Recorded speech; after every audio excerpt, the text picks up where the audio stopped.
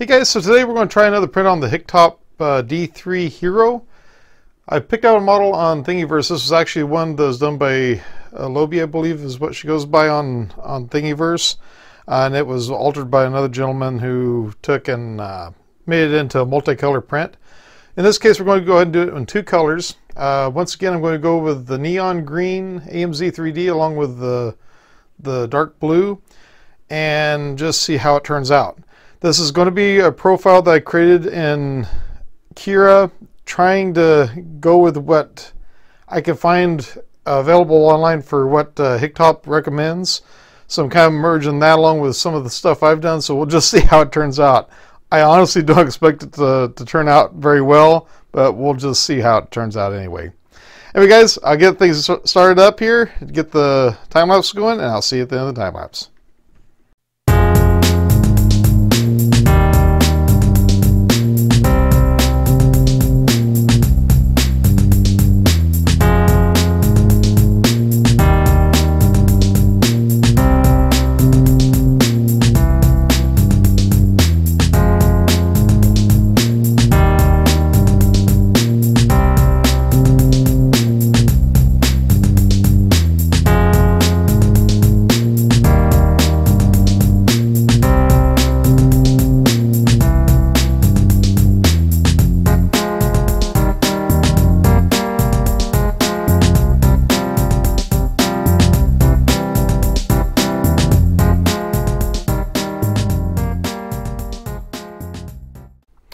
Okay, so that was 30 hours, 31 minutes.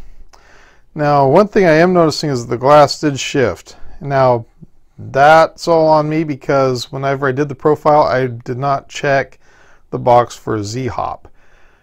Uh, Z-Hop is really important because if you're printing details like up in here, wherever, if there's a little bit of warpage, what'll happen is you can actually have the nozzle impact the model, which would cause a shift uh, especially on the glass.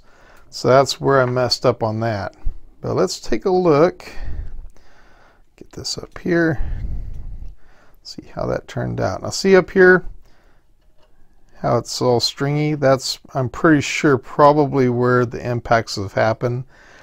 I can see a little bit of a shift here. I'm trying to see further down the model. Looks like I might have had a shift right there.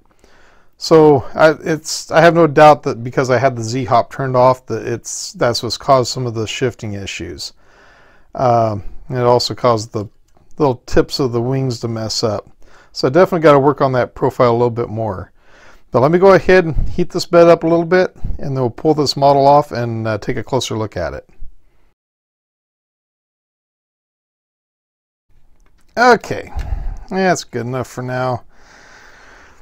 I don't like using brims. I went ahead and I used it on this mainly because I, at the time whenever I started the profile, I did it in uh, Cura 3.6, I believe it's the, I believe that's what it was. That didn't have where you could have a brim just on the on the prime tower. And the prime tower definitely needs a brim. Uh, otherwise, it will fall over, especially when it's going up that tall. That's a pretty tall prime tower. But let's take a closer look at this model. Layer line wise, this looks really nice. One of the nicest printers I've ever printed with. But with that said, I'm actually seeing more shifting on this side than I did on this side. And once again, the glass moved over a good eighth of an inch over during the duration of this print. So I have no doubts that that's what's caused some of these issues.